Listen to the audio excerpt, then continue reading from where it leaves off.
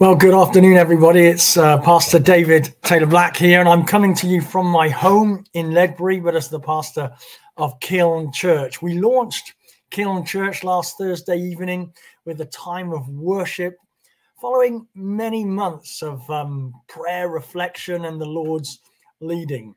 Now, if you want to be part of Kiln Church, you can connect to us via our Facebook and our YouTube channels, where you'll find regular uh, content updates, notifications. Currently, as a church, we meet once a month in Ledbury Community Centre and socially at other times. But the exciting news is that we are expecting to meet weekly from September. And in between all of that, we'll be live online at four o'clock on Sundays to study the scriptures together. And I'm here today to start and to kick off a series in 2 Peter, which we've called Finding Hope in Dark Places. So I want you to go off and run and turn to your Bibles, get your Bibles and turn to the towards the end of uh, the New Testament. If you've gone to John, Jude, or Revelation, you've gone too far, and you'll find Peter around there. Now, whilst you're dialing that up, just to say if you've got any questions or comments to make or you want to keep in touch, you can email me on david.taylorblack at kilnchurch.com. I'll try to put on a link at the end of this message. So, eyes down, got your Bibles open to 2 Peter. And uh, I'm only going to speak from two verses this afternoon because I just think so often we glaze over the introductions, but there is an awful lot of gold in these verses. So, 2 Peter chapter 1 from verse 1. Simon Peter, a servant and apostle of Jesus Christ, to those who have obtained a faith of equal standing with ours by the righteousness of our God and Savior Jesus Christ. May grace and peace be multiplied to you in the knowledge of God and of Jesus our Lord. So that's all as far as we're going today. Um, we welcome Peter. Peter is a guy who Jesus had a beeline for. He clearly had a special relationship with Jesus. And, and many of us have a real uh, affection and affiliation with Peter. We love him because we see traits within ourselves that we see in him. You know, he was typically cynical. He was zealous. He was a hero, but he was also a little bit of a villain. He was an ordinary guy, a natural leader who had become discouraged with organized religion. And here is the awesome truth is that God chose him. And this is so poignant because we know what that means for all of us that God can choose us too. Or if we were to put it in Paul's words, God chooses the foolish things of this world to shame the wise, the weak things of this world to shame the strong. To many of us, we feel that we are just simply not good enough for God. You know, we don't feel that we measure up. We might struggle with sin. We might not know our Bibles well enough. We might not do church enough. We don't have the gifts or the confidence. But when you look at most of the characters in the Bible that God called, they were as fallible as we are. You remember Noah, he got drunk. Abraham failed God, failed to learn lessons. Jacob lied. Moses stuttered. Joshua was timid. Jonah ran away. David committed adultery, amongst other things. Elijah was burned out. Jeremiah was a depressive. Timothy doubted, along with Gideon. Paul persecuted the church. Mark bailed on the missionary journey. Timothy was too young. So I want to say you must never underestimate how God can mold a lump of clay and shape it into a beautiful vessel for his purposes. I've come to learn that you must never put a ceiling to what God can do with you. Forgive me for saying most of us, I guess, are pretty ordinary. We may be even just average at best, but God is an extraordinary God who calls people to do out of the ordinary things for Him. You see, what God does, He equips the called, He doesn't call the equipped. And the only requirement that we need to give of ourselves is a heart that is willing and pliable, a heart that can echo perhaps the words of Isaiah when he said, Here I am, Lord, send me. And it was when Peter saw that miraculous catch of fish the morning after he'd spent a night on the Sea of Galilee catching nothing when he was all in for Jesus. And I guess off the bat, I want to ask the question do you believe that you are all in for Jesus?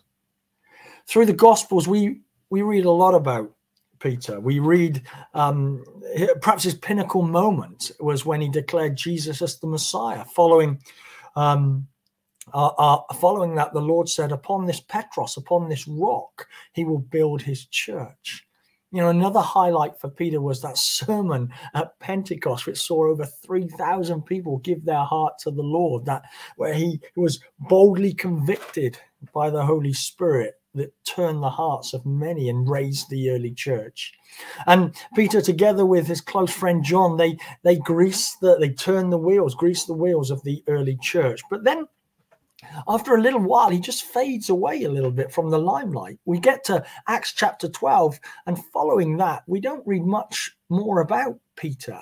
It's just snippets of his life for, for the rest of his life. And uh, we start more to look at Paul and, and how he led um, and birthed the church amongst the Gentiles, as he was called to be God's instrument to them. So there's about 20 years of radio silence. Um, but then, just at the end of Peter's life, he makes a resurgence with resurgence with two short letters, and we're going to study the second one probably for about five weeks. And Peter's big theme here in 2 Peter is finding hope in dark places. When the world is about to cave in upon you, we all need to hold on to something to pull us through, whether it's going to be another wave of COVID later on this year, or the, the economic squeeze that we're all feeling at the moment, or whether there's going to be some kind of fallout from uh, the war in U- Ukraine, whatever it is, everyone needs hope. And, and from what, what Peter says in verse 14, Peter knows that he's uh, about to face his, his executioner. Peter knows he's on the way out. Peter knows that he's about to, to meet the Lord. You see, Peter is, is writing from Rome. He went to Rome perhaps to encourage the early church that was being birthed there. But whilst he's there, he's arrested. And, and, and from this moment in Peter's life, it's around mid 60s um, AD. Um, this is about to bring on a, a torrid time for the early church as persecution from the imperial Roman Empire heats up at the hands initially at uh, the uh, at, the Emperor Nero.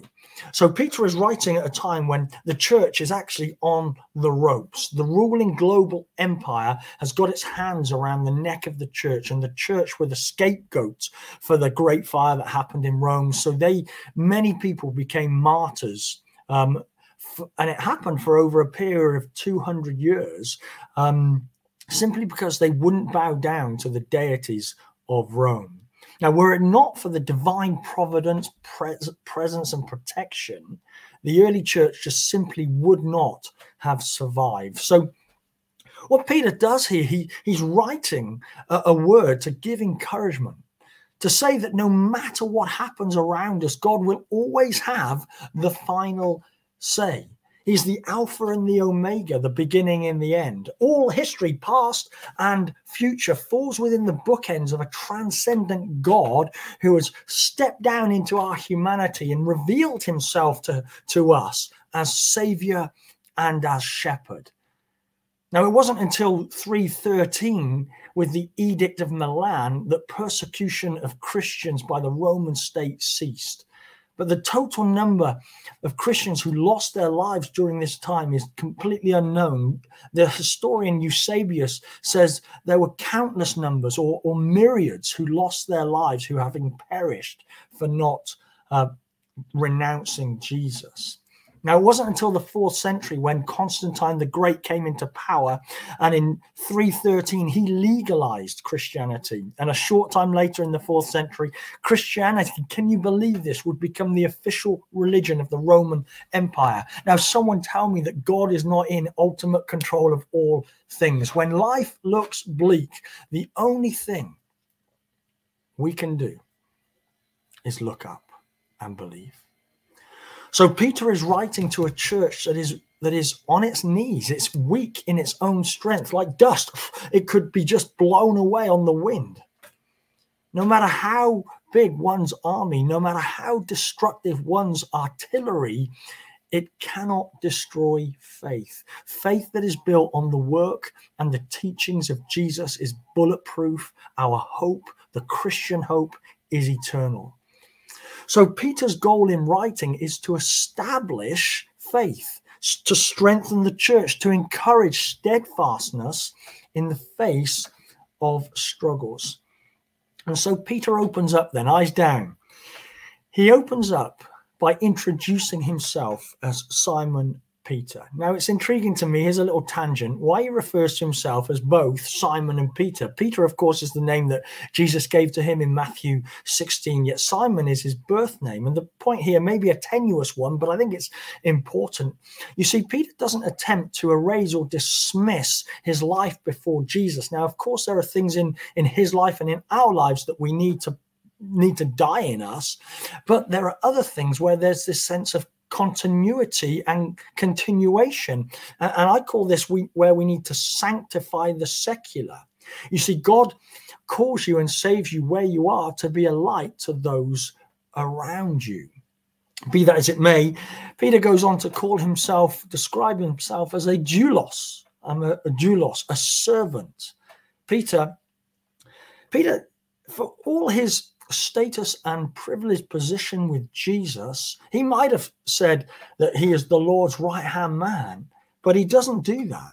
Peter wants to be referred to nothing more than a slave, a servant. The Greek word doulos, it carries a deep meaning. It's not just servant it, uh, who would turn up for work. The word can also be translated as slave. Now, Peter was quite clearly a slave to Christ. He bound himself to his master, not under a, a, a, sense of command, as most slaves were, but under conviction. Now, our goal, our goal as our pilgrimage in Christ is to arrive at that place where we can say we have enslaved ourselves to Christ, becoming a doulos, a servant of the master. You know, growing in Christ is to become a doulos of Christ.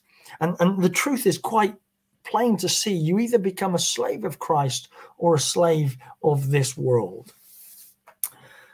Peter also refers himself in the opening verse there as an apostle. Now, apostles were, were commonly known as those who had seen Jesus. They'd been in the presence of Christ.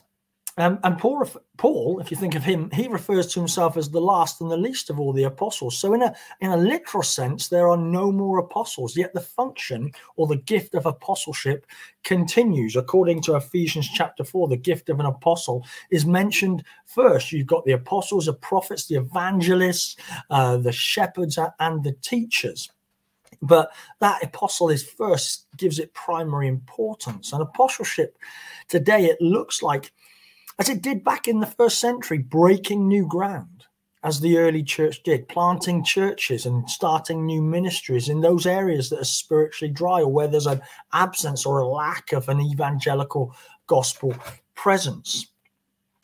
And, and Peter, he, he's addressing here uh, those who have obtained faith. So it's likely that his audience are, are Gentiles. Now, what he is doing here is he's he's in this introduction, he's putting everybody with faith on the same page.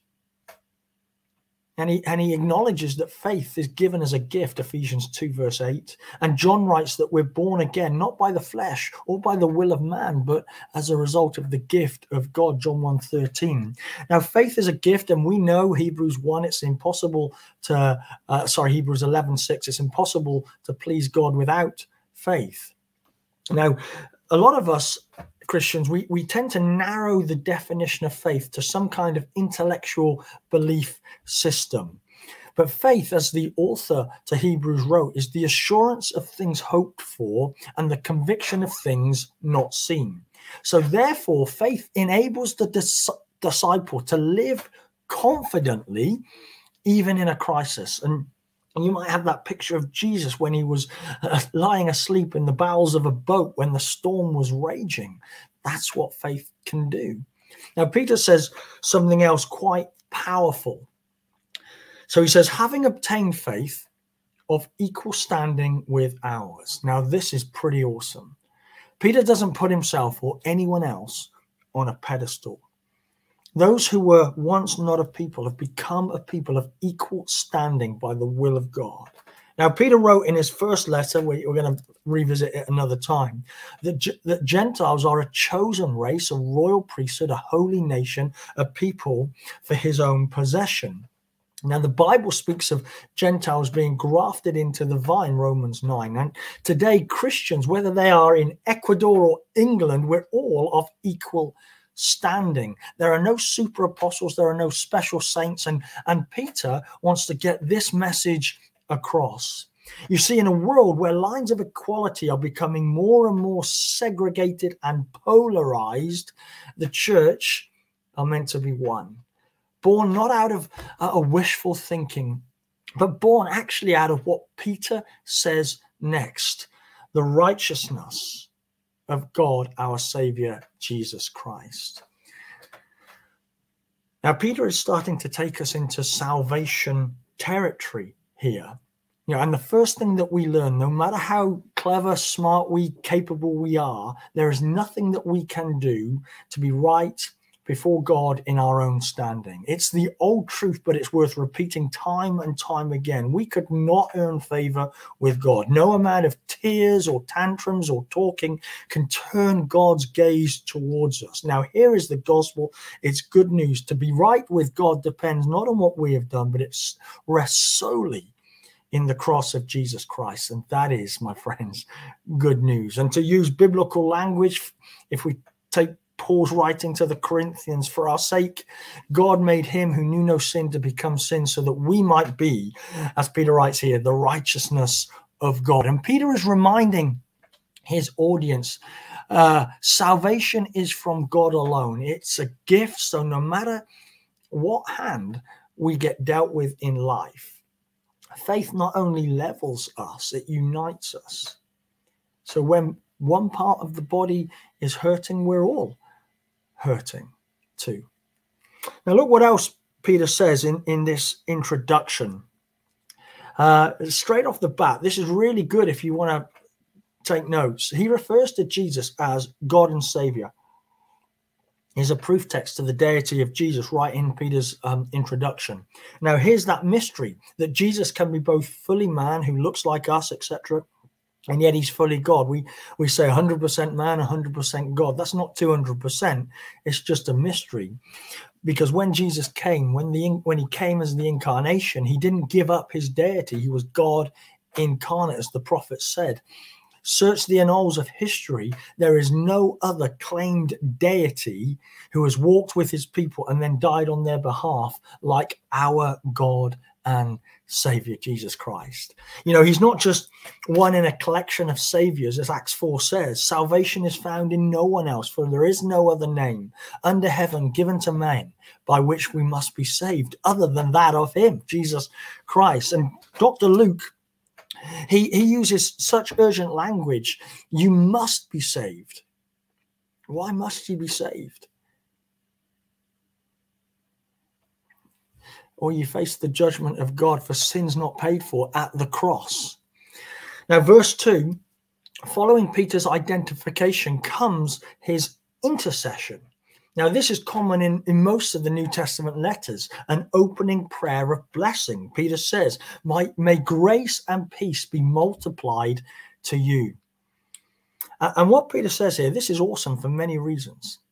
You know, I remember a few years back, uh, pre the troubles of COVID, I was at Fre- a Fresh Streams conference, and Roy Godwin, who wrote Grace Outpouring and, and led the uh, retreat center in Ffald-y-Brenin, uh, he talked about the importance of pronouncing blessings upon people wherever you go and wherever you you are. Not just the people that you know or the people that are in need of prayer, but anyone and everyone. And I think you should go and try this. Go around praying prayers of blessings upon people. And now you can quote the Aaronic blessing in number six or Paul's Trinitarian blessing in 2 Corinthians 13 or make one up yourself. But this prayer of blessing, uh, it opens up something that we may not have unlocked before. The potential for the multiplication of grace and peace in our lives. So, what does that mean? It means that there are vaults of this stuff up in heaven within the heart of God that remain untapped.